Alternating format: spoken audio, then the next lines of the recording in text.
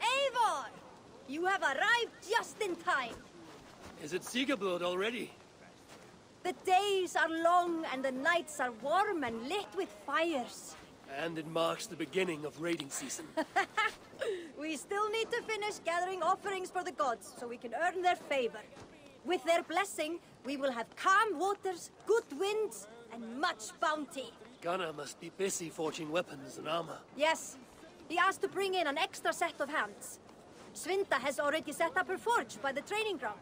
But weapons are not the only tools of war, Eivor. You must train your mind as you train your body. Eager to see what this mind training will look like. I would show you around, but I need to get my offering ready for the bonfire. Check around the settlement to see what's needed. Perhaps you can make yourself useful. Am I not already useful? Oh, be sure to say hello to Norvit. But first, take this torch and mark the beginning of the festival.